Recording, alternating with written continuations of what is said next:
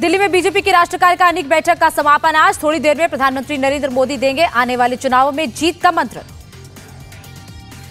धर्मेंद्र प्रधान ने गिनाई मोदी सरकार की उपलब्धियाँ, कहा अर्थव्यवस्था में यूके को पीछे छोड़ भारत पाँचवें स्थान पर, राम मंदिर पूरा होने की तारीख आने पर पीएम मोदी का जताया आभार।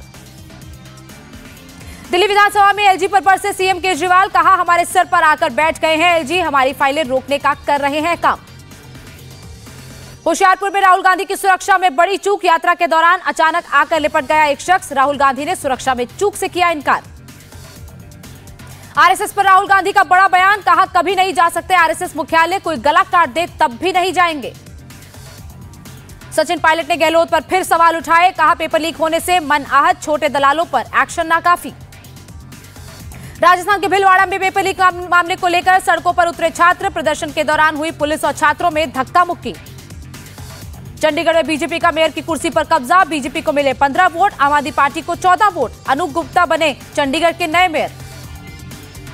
जेडीयू नेता नीरज कुमार ने ट्वीट कर आरजेडी पर किया पलटवार, कहा, बढ़ता बिहार। नीतीश कुमार, ट्विटर की नहीं, काम की सरकार। दावोस में वर्ल्ड इकोनॉमिक फोरम में महाराष्ट्र को मिला पैंतालीस हज़ार नौ सौ करोड़ रुपए का निवेश। सीएम शिंदे ने एमओयू किए साइन, दस हज़ार लोगों को मिलेगा रोज़गार।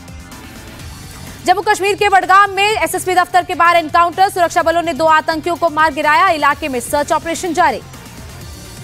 दिल्ली पुलिस को चार संदिग्ध आतंकियों की तलाश, उत्तराखंड में आतंकियों को मिले पाकिस्तान से हथियार, जहांगीरपुरी में पकड़े गए आतंकियों से मिली जानकारी। आर्थिक बर्बादी के बीच पाकिस्तान के बदले सुर, पीएम शहबाज शरीफ ने कहा, भारत से तीन युद्ध लड़कर सबक लिया, अब हम शांति से जीना चाहते हैं। शहबाज शरीफ ने कश्मीर मसले का हल निकालने को भी कहा। बोले, भारत और पाकिस्तान पड़ोसी हैं और दोनों को एक दूसरे के साथ ही रहना है। पीओके के गिलगिट बाल्टिस्तान में विरोध प्रदर्शन, लोगों ने सरकार के खिलाफ लगाए नारे, महँगाई और खाने की कमी को लेकर प्रोटेस्ट।